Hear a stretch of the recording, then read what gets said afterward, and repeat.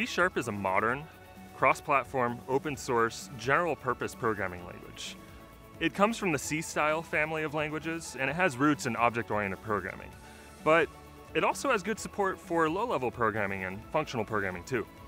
To understand what C-sharp is, you kind of got to go back in time to the year 2000 when it first came out. And in the year 2000, it was an object-oriented programming language for building Windows apps with the .NET framework.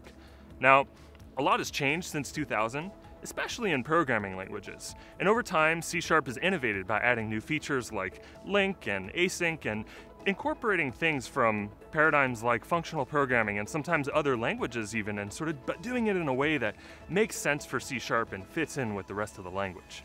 C Sharp 9 is the next version of C Sharp coming out with .NET 5 and continues that trend by incorporating records and advanced pattern matching to make things like immutability and functional programming a little bit better. C Sharp is used by over 5 million developers worldwide, and they love it.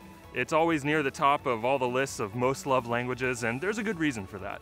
And so, because of that, we think that C Sharp would be a great choice for your next application.